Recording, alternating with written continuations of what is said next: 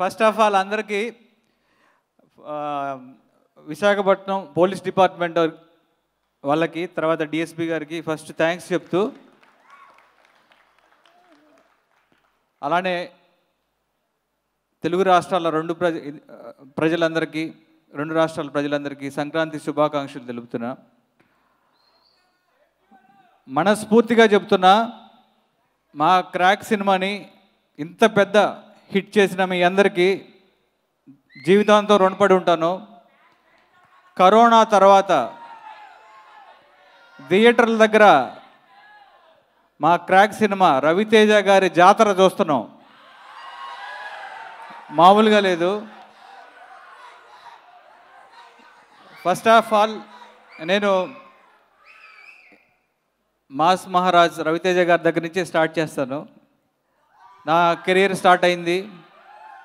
నాకు ఆపర్చునిటీ ఇచ్చింది రవితేజ గారు డాన్ సీను సినిమాతోటి డాన్ సీను బలుపు ఇప్పుడు క్రాక్. ఒక డైరెక్టర్కి ఒక డైరెక్టర్గా నాకు ఎంత ఎంత స్ట్రెంగ్త్ అంటే ఆయన ఒక బ్రదర్ లాగా నాకు అంటే నన్ను నమ్మి నాకు వరుసగా మూడు సినిమాలు ఇచ్చారు. అది మామూలు విషయం కాదు.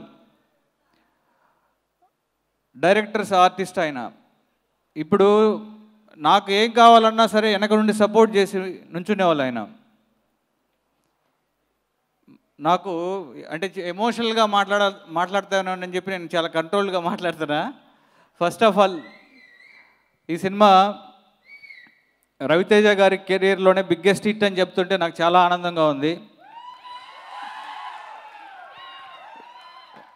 ఫస్ట్ తమన్ దగ్గర నుంచి స్టార్ట్ చేస్తా. ఎందుకంటే ఫస్ట్ కథ కథ అనుకున్న తర్వాత ఒక కమర్షియల్ సినిమా చేద్దాం కమర్షియల్ సినిమాని జెన్యున్గా చెబుదాం అని మా రైటర్ రైటర్స్ టీమ్ తోటి నేను వర్క్ చేసుకుంటూ వచ్చినప్పుడు ఫస్ట్ తమన్కి కచ్చప్పంలోనే బావా ఇది ఎక్స్ట్రాడినరీ స్క్రిప్ట్ నీకు నీ కళను నిజం చేయడానికి చాలామంది నీకు వెనక సపోర్ట్ కావాలి అని చెప్పి ఫస్ట్ సపోర్ట్ జీకే విష్ణు రూపంలో ఇచ్చారు. GK Vishnu brother cum brother. Love you love you brother. ఒక డైరెక్టర్ ఒక కళ కంటే ఆ కళని నిజం చేసేవాడే కెమెరామెన్. నిజంగా నా కళని ఈరోజు మీ అందరికీ చూపించారు అంటే దానికి GK Vishnu camera. Brother love you. తర్వాత మా బావ ఇప్పుడు మేము ఎంత మంచి ఈ కథకి నాకంటే ఫస్ట్ తమన్ నా అన్ని సినిమాలకి ఒక డాన్స్ సినిమా తప్పిస్తే మిగతా అన్ని సినిమాలకి తమన్ మ్యూజిక్ ప్రతి సినిమాకి ఎక్స్ట్రాడినరీగా ఇచ్చారు ఈ cinema. Thaman extraordinary background score చేశాడు. నా మీద ప్రేమను చూపించాడు ఈ సినిమాతోటి నిజంగా నాకు బావా నీ నీ స్పాన్ ఇది నీ నువ్వు తీసుకురా నేను ఇస్తా అని చెప్పాడు. అలానే ఇచ్చాడు. ఈరోజు బ్యాక్గ్రౌండ్ స్కోర్ గురించి మాట్లాడుతున్నారు. ఎక్స్ట్రాడినరీగా మంచి మంచి సాంగ్స్ ఇచ్చాడు. తమన్ లవ్ యూ బావా. తర్వాత ఇక్కడ నా రైటింగ్ టీం వివేక్ అలానే గవిరెడ్డి శ్రీను శ్రీకాంత్ ఆదిత్య మా సాయి మాధవ్ బుర్ర గారు. వీళ్ళందరూ నా వెంట ఉన్నారు. ఈ సినిమా ఇందాక సాయి మాధవ్ గారు చెప్పినట్టు ఈ సినిమా గాలిలో లేదు.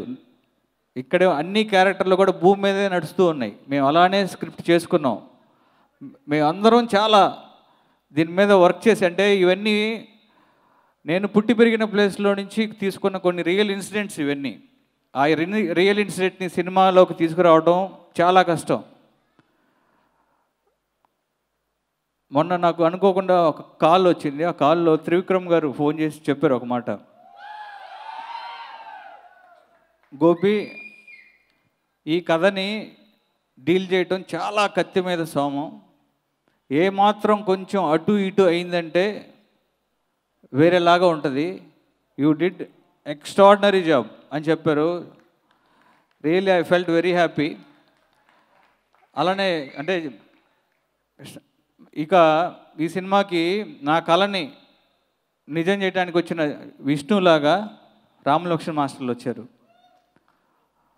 వాళ్ళ వాళ్ళకి నేను జీవితాంతం రుణపడి ఉంటాను మాస్టర్.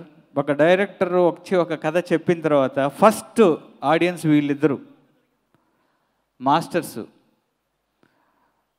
ఎలా అంటే నేను ఏదైతే ఊహించి నేను ఏదైతే అనుకున్నానో ఒక ఒక వేటపాలెం బ్యాచ్ ఇలా ఉంటుంది. వేటపాలెం బ్యాచ్ వాళ్ళు గాడిద రక్తం దాగి పరిగెడతారు. నైట్ కరెంట్ తీసి చంపేస్తారు. ఇవన్నీ నేను చెప్తూ ఉన్నప్పుడు వాళ్ళు దాన్ని జీర్ణించుకొని మమేకమైపోయి అంటే ఈరోజు థియేటర్లో పర్టికులర్గా ఆ ఎపిసోడ్స్ ఏవైతే ఉన్నాయో వేటపాలెం ఎపిసోడ్ కానీ బస్ స్టాండ్ ఫైట్ కానీ లేకపోతే అన్నీ భయపడిపోతున్నారు జనాలు. అంటే అంత ఇంటెన్సిటీ వీళ్ళ దగ్గర ఒక జెన్యూనిటీ ఉంది మాస్టర్స్ దగ్గర. వాళ్ళు మనుషులు కూడా మంచివాళ్ళు అంటే ఎలాంటి కల్మషం లేని మనుషులు. వాళ్ళిద్దరూ కరోనాకు ముందు మన ప్రపంచంలో ఎవరికి ఒకరికొకరు ఎదురుపడితే మనం షేక్ హ్యాండ్లు హగ్గులు ఇచ్చుకునే వాళ్ళం వీళ్ళు ఎప్పుడు కనపడినా నమస్కారం పెట్టేవాళ్ళు. ప్రపంచం వీళ్ళని చూసి మొత్తం పెట్టమంది. నిజంగా అది నాకు అనిపించింది.